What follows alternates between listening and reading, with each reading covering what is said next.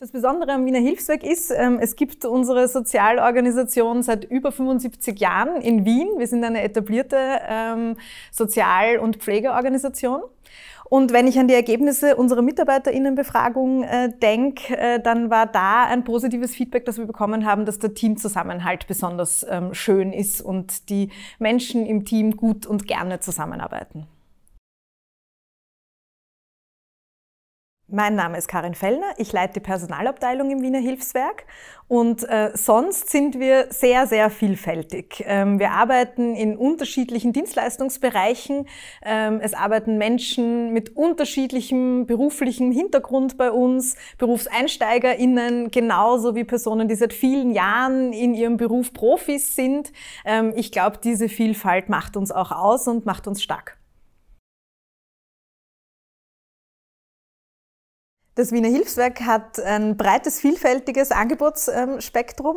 Das geht von der Hilfe und Pflege daheim, ähm, wo wir in der mobilen Pflege und Betreuung unterwegs sind, in den Wohnungen äh, unserer Kunden und Kundinnen, ähm, über die Kinderbetreuung, wo wir Tagesmütter und Tagesväter haben, ähm, die Nachbarschaftszentren. Wir haben zehn Nachbarschaftszentren in Wien verteilt, die in den Kretzeln ihre Angebote fürs Zusammenleben haben. Wir haben den Freizeitbereich, wo Menschen mit und ohne Behinderung zusammenkommen können und ihre Freizeit verbringen können.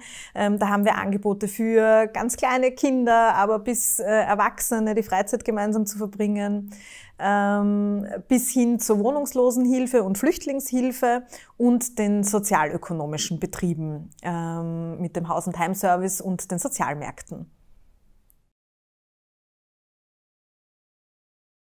Es gibt ganz viele Gründe, sich beim Wiener Hilfswerk zu bewerben. Wenn ich jetzt zwei herausnehmen muss, dann wäre das zum einen unser Angebot in der psychischen Entlastung.